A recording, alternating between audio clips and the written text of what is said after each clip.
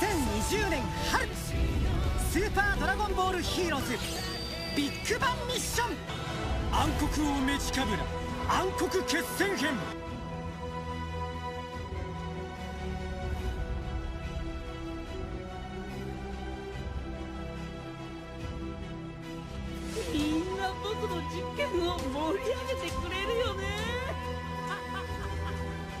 Se viene por fin la nueva saga y segunda temporada de Dragon Ball Heroes para el mes de marzo y también un nuevo capítulo especial de Dragon Ball Heroes para el mes de febrero. De hecho,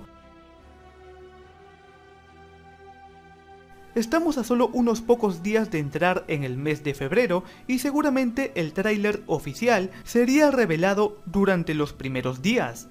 Como recordatorio, en febrero tendríamos el capítulo especial que nos narrará la historia completa o casi completa del arco del reino demoníaco oscuro, una de las sagas más emblemáticas que tiene Dragon Ball Heroes en el videojuego y en el manga, pero que no tenía un anime promocional hasta recién dentro de unos días más. Este episodio especial servirá para comprender de qué trata el reino demonio, conoceremos a los patrulleros Zeno, aunque previamente ya conocíamos a Goku y Vegeta Zeno, porque estuvieron en el anime promocional de Dragon Ball Heroes Universe Mission. Sin embargo, ahora expandiríamos este universo conociendo por ejemplo a Goten Zeno, Gohan Zeno, Pan Zeno e incluso a los villanos, siendo el más importante y poderoso Mechikabura, de quien te hablé en algún video anterior. Pero en fin, tras concluir con este capítulo especial de febrero, finalmente en marzo arrancaría la verdadera nueva saga de Dragon Ball Heroes, cuyo nombre será Big Bang Mission. Este nuevo arco, tal cual se confirmó en el final del anime promocional, será la continuación directa de estos eventos. Es decir, veríamos qué sucedió después de la muerte de Hertz, no sabemos si empezará todo de nuevo desde un capítulo 1, algo así como Dragon Ball Heroes temporada 2 capítulo 1, o simplemente seguirá la secuencia de los demás capítulos. Es decir, ahora tocaría el capítulo número 20, continuando después del 19 ya que en realidad este sería el tercer arco de Dragon Ball Heroes. El primero fue Dragon Ball Heroes, Saga del Planeta Prisión, que ocupó los capítulos 1 al 6, Después estrenó el segundo arco, Dragon Ball Heroes Conflicto Universal, que ocupó los capítulos 7 al 19, y ahora se estrenará el tercer arco, Dragon Ball Heroes Big Bang Mission, o Misión del Big Bang Universal, que bien podría arrancar desde un capítulo número 20. Pero bueno, ya veremos qué sucede, de todos modos, no falta mucho para su estreno. Una pregunta que muchos se han estado haciendo es ¿qué pasó con los villanos que formaron el conflicto universal? Estos villanos aparecieron en el final del episodio número 6, cuyo líder, lógicamente, eventualmente fue Hertz. Pues bien, el episodio número 20, o el número 1 de la siguiente temporada, claramente nos revelará qué sucedió con ellos, si están vivos, si de verdad se murieron, o si algunos sobrevivieron, ya lo veremos, pero gracias al manga puedo darte a conocer cuál es la situación actual de los secuaces de Hertz. Así que si quieres saber qué pasó con estos secuaces, qué pasó con Kamba, Kamioren, Samasu, Lax e incluso el mismo Hertz, pues adelante, vamos con el video. Primero, Kamba, el Saiyajin maligno. En el anime lo vimos luchar contra Golden Metal Cooler en un lugar lejano, que en el manga se revela que fue una batalla en el universo número 3. Kamba en el anime, yo creo que no ha muerto. Si bien Golden Metal Cooler lo dejó totalmente herido, esto no necesariamente implica su muerte, así que yo creo que sí seguiríamos viendo a Kamba en la próxima temporada, ya que hay muchos misterios que resolver respecto a este personaje. Más aún porque es un Saiyajin de la antigüedad, quien se enfrentó eventualmente contra el primer Saiyajin Dios, y parece que fue derrotado por este, pues le tiene mucha cólera cuando ve un Super Saiyajin Dios ante sus ojos. Por eso reaccionó con ira cuando vio a Goku convertirse en uno. Mientras tanto, el Kamba del manga está prácticamente muerto. Golden Metal Cooler en el manga es mucho más cruel de lo que fue en el anime, Aquí Cooler no solo masacra a Kamba, le destroza gran parte del cuerpo y Kamba no tiene la oportunidad de regenerarse como lo haría un personaje como Picoro o algún otro guerrero. Y para rematarlo, Cooler rostiza a Kamba, quemándolo hasta dejarlo tirado en el suelo. Yo creo que Kamba después de esto prácticamente sí ha muerto completamente, en el manga.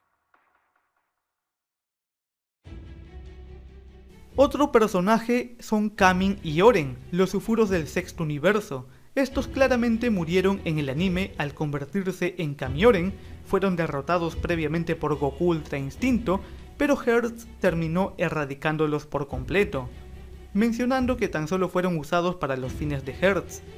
Y en el manga la situación es similar, salvo que Kamioren es derrotado por Jiren, quien lo acaba fácilmente.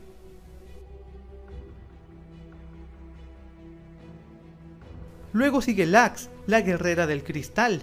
Ella en el anime fue derrotada eventualmente, aunque no se dejen claro si murió o sobrevivió, por lo que es un personaje que tiene la mayor probabilidad de continuar en la siguiente temporada. En el manga, ella sigue totalmente viva, y sigue incluso ayudando a Hertz, pese a que Gogeta ya acaba de aparecer. Luego figura Samasu, pues este villano sí definitivamente está completamente muerto. Sería traicionado por Hertz eventualmente, pues es importante destacar que sus intereses no coinciden en lo absoluto. Por una parte, Hertz quería erradicar a todos los dioses, en especial a Zenosama, y así liberar a los humanos de las deidades. Mientras que Samasu quería todo lo contrario, eliminar a todos los humanos que ensucian el mundo para así dejar únicamente con vida a las deidades. Y por último, Hertz, pues creo que con él no hay mucho que agregar. En el anime murió con un final trágico, confesando su admiración ante Gogeta y los mortales que luchan por salir adelante y mencionándole que su única intención era acabar con las deidades. Muchos de nosotros analizamos sus palabras y pues puede que Hertz haya tenido algo de razón acerca de Zenosama, quien es un tirano cuyo abrumador poder pone en peligro a todo el mundo. En el manga aún no podemos saber qué sucederá con Hertz porque recién ha entrado en combate contra Gogeta, así que ya veremos si su final será idéntico al anime o logra tener alguna posibilidad de supervivencia, aunque realmente lo dudo mucho.